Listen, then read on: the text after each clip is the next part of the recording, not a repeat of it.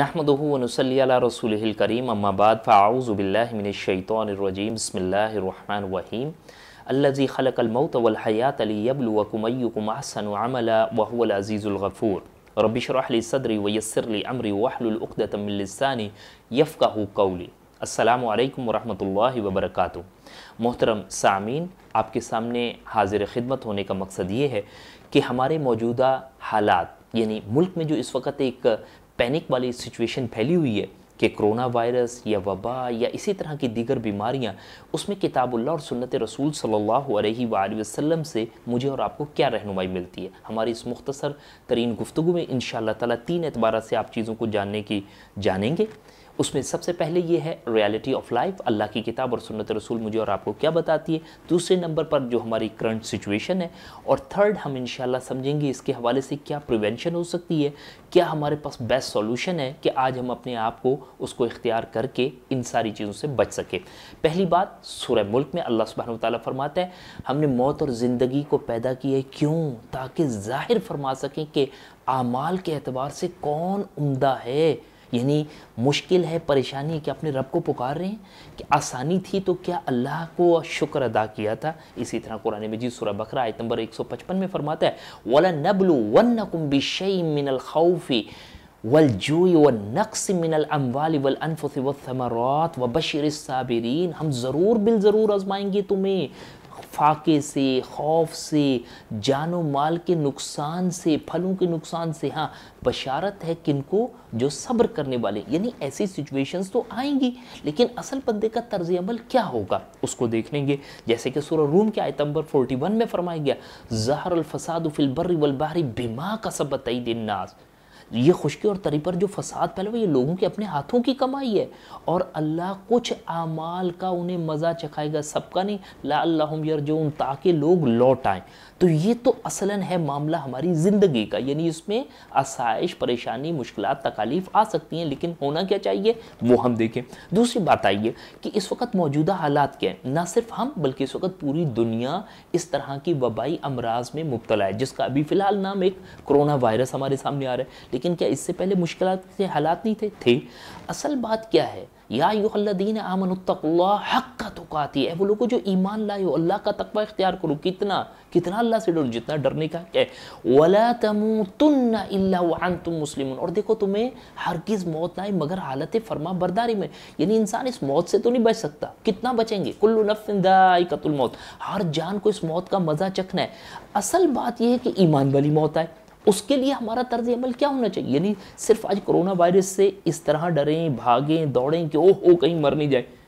تو اس مرنے سے تو نہیں بچ سکتے۔ دیکھیں، کسی بھی چیز کے دو ٹریٹمنٹ ہمیں ملتے ہیں، ایک میڈیکلی اور ایک کیا ہے اسپریچولی میڈیکلی اگر کوئی بندہ یہ چیزیں ہاتھ دھوئے گا، اپنے آپ کو صاف ستھرا رکھے گا، کسی ہجوم سے بچانا چاہتا ہے اوکے کسی لیول تک اس چیز کو اختیار کر لے۔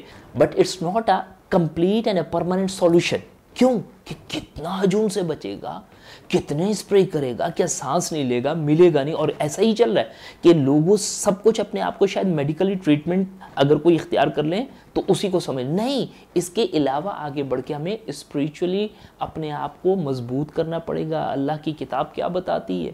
پیارے رسول صلی اللہ علیہ وآلہ وسلم نے ہمیں کیا اس کے بارے میں تعلیمات دی ہیں؟ یعنی اگر کوئی بندہ اس طرح کے حفاظتی اقدام اختیار کرتا ہے، اچھی بات ہے، لیکن اس سے بڑھ کر آگے چل کے سولوشن کیا ہے؟ وہ اللہ کی حفظ و امان پناہ میں جانا۔ یعنی میں آپ سے گزارش کرتا چلوں کہ اگر کرونا وائرس سے ہم بچ بھی گئے تو ہمیں مارنے کے لیے تو بے حیائی موجود ہے، فحاشی موجود ہے، کرکٹ موجود ہے، عورت مارچ موجود ہے، سٹہ بازی موجود ہے، فسق و فجور موجود ہے۔ ہزار چیزیں ہیں۔ یعنی اگر ایک کرونا وائرس سے بچ بھی گئے تو کیا ہوگا؟ یعنی میں انشاءاللہ آپ سے عرض کروں گا، اس کے حوالے سے بھی چند دعائیں ہیں۔ بالکل اللہ کی رحمت سے وہ احاطہ کرتی ہیں۔ الحمدللہ۔ لیکن اصلاً ہمیں اپنے طرز عمل کو درست کرنے کی ضرورت ہے۔ تو میں اگلی تیسرے حصے کی طرف آ رہا ہوں، جس میں ہمارے پاس کیا سولوشن اللہ کے رسول کریم صلی اللہ علیہ وآلہ وسلم ہمیں دعاؤں کے ذریعے اس کی حفاظت کرتے ہیں۔ لیکن ان دعاؤں سے بھی پہلے ہمارے پاس کیا ہونا چاہیے؟ How to deal with this situation وہ ایک نمبر پہ پہلے آپ سمجھے گا پیور ریپینٹنس یعنی سچی توبہ۔ یا الذین آمنوا توبو الاللہ توبتا نسوا۔ آج ایک بندہ فسق و فجور میں، گناہوں میں، مستیوں میں، اپنا زندگی کی رانائیوں میں بیٹھا ہوا ہے اور اس میں صرف ایک دعا پڑھ کے کیا دوبارہ محفوظ ہو جائے گا؟ نہیں بھائی، پہلے تو سچی توبہ، لوٹیں اللہ کی طرف۔ Turn to Allah before return to Allah second number پہ اوبلیگیشنز جی نمازیں ہیں، روزہ ہے زکوٰۃ، یہ کیا ہے؟ یہ فرائض، ان کی ادائیگی ہونی چاہیے۔ ریفرین فرام حرام گناہوں سے بچنا ہے اجتناب کرنا ہے روکنا ہے اپنے آپ کو۔ Then we have supplications پھر بندہ دعائیں مانگے گا، پھر اللہ نے چاہا، اللہ کی رحمت سے ہماری بات بنے گی۔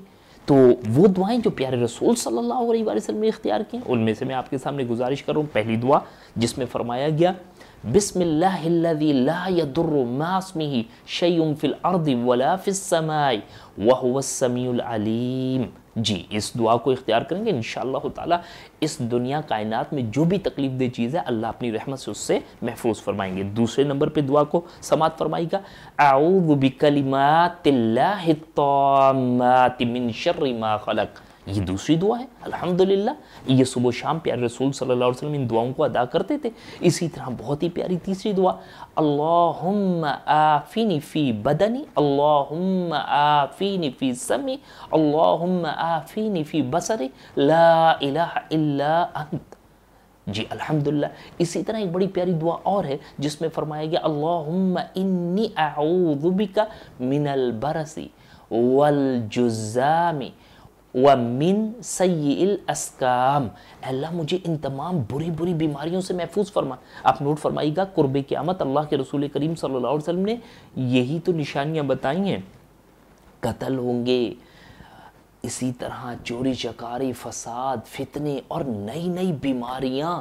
تو آج ہمارے لیے حل کیا ہے؟ اللہ کی طرف لوٹیں، اپنے اعمال کو دیکھیں۔ انشاءاللہ تعالی اللہ نے چاہا جب یہ مصنون دعاؤں کو اختیار کریں گے، جو پیارے رسول صلی اللہ علیہ وسلم کے بتائے ہوئے طریقے ہیں، ایسا نہ ہو کہ کوئی چیز خود ساختہ ہو جائے اور ہم بالکل ہی آؤٹ ہو جائے یعنی مستند انداز سے پیارے رسول صلی اللہ علیہ وسلم صحابہ کی بتائی ہوئی چیزوں کو پڑھا جائے اور اس ساری مشکل والی سچویشن سے بچنے کا یہی حل ہے۔ اور بالفرض موت آ گئی تو اللہ نے چاہا یہ ایک ایمانی موت ہمارے لیے بنے گی، ایک شہادت کے درجے کی بنے گی۔